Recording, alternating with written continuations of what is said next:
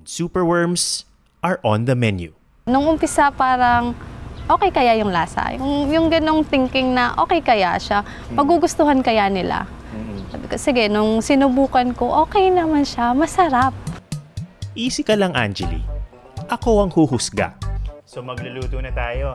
Naku, mukhang alam ko na kung saan pupunta to. So, dinamihan ko na po siya ngayon kasi ito na siya yung magsasubstitute as meat niya for lasagna. So, para malasahan natin siya dun sa lasagna. Mas Okay. madami, mas masarap. Aba? Lasagna? Ew, exciting! So, ngayon, ilalagay po muna natin yung oil. Dami mantika. Kasi ano to, no? deep fry. Yes po. So, kailangan hindi po muna siya mainit yung oil. Kasi pag mainit po natin siyang ilalagay, yung worm, maghihiwalay na yung balat niya. Yee! Swimming! Uy, nagwawala na sila. Yes po. Hindi nila gusto yung langis. Ba't mo naman naisipan pag-eksperimento nito na kainin? Ah, na iba-ibang putahe. Oo, nasinerch ko rin siya na maganda pala yung benefits nitong superworm. So, high in protein po siya. Mm-mm, mm-mm. So, sabi ko, ah, why not subukan ko? Kasi mukhang papatok siya dahil hindi lang sa exotic siya, kundi may benefits pa siya para sa atin. Maganda yung may nasas, na, na titikman ka pang parang slimy, something ganon. Parang hindi nakatulong yun. Pero sige. May laman-laman pa. Ganun, Opo. oo. Sige. Mainit ba o, o uh, kinakabahan lang? Ayan, pwede na po siya. Hmm, actually, ano siya? Uh, mabango. Yes. Appetizing yung amoy niya. Mm. Notes of fried chicken. Para ding may pritong kamote na amoy. Parang kamote Q. Parang kamote Q. Totoo ba? Na, ano, Opo. ah, okay, okay. So, hindi ko lang siya na-imagine. Matapos i-deep fry ang mga superworm, binuna ni Angeli ang lasagna.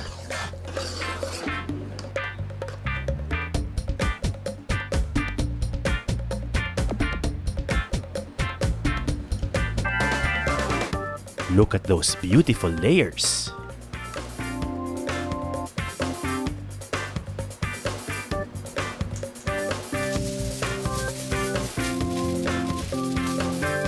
Habang hinihintay mabake ang lasagna, inihanda namin ang pangalawang putahe. Isang classic Filipino dish with a twist.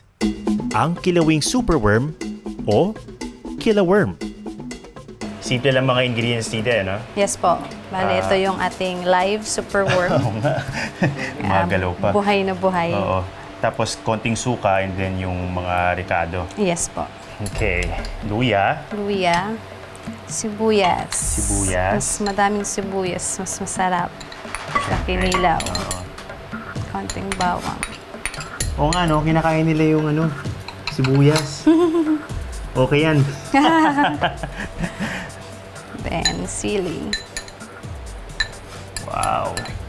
Yung mga worm wala silang kamalay-malay, no? Kala mo, kala nila pinapakain sila. Hindi nila alam, sila ang kakainin. Ayan na. Ah! Wawala sila. Mainit eh.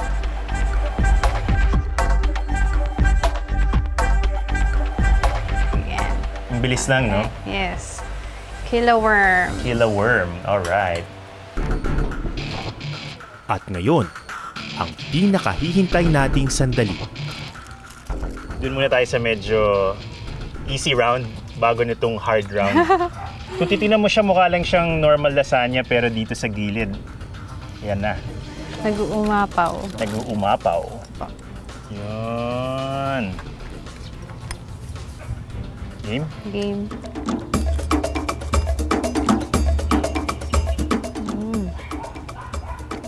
Hmm. Actually, Nalalasahan mo yung laman. Meron pumuputok once na kinakagat mo siya. Hindi ko na nga iniisip eh. Ba't ko sinasabi? Ang masasabi ko, Una-una, magaling ka magluto.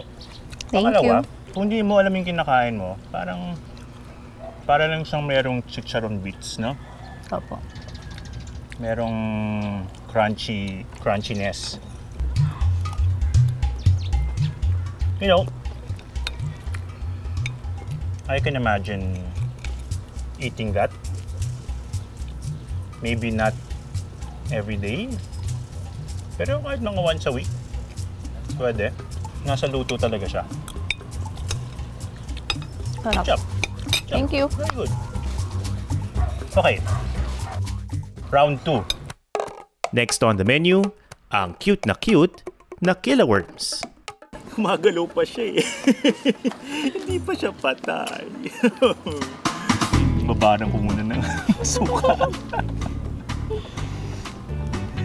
Pag nakita mo yung mga uod, parang may natitrigger sa isip mo yun na parang hindi ko dapat kinakain to. Pero kung yung lasa at lasa lang, at least dito, okay ako doon. Itong kilawin, hindi ba to akit ng lalamunan ko? Sige na nga, game.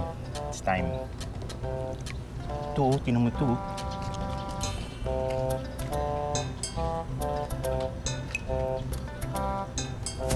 Uy, gising.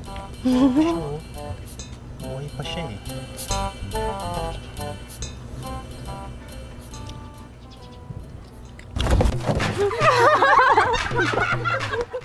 Gising.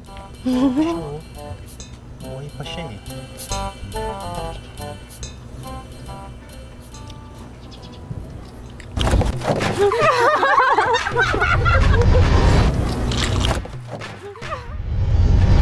Pumutok siya eh. Baka naman nabigla lang ako. Sige na nga, isang subo pa. Things I do for this program. Yan ko suka. Cheers!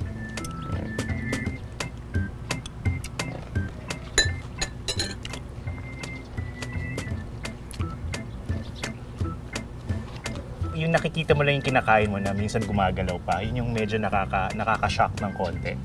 Pero kung ito ang solusyon, halimbawa sa problema natin sa pagkain, tingin ko ah, mamahalin ko siya. Ganun siya kahalaga sa buhay natin ngayon.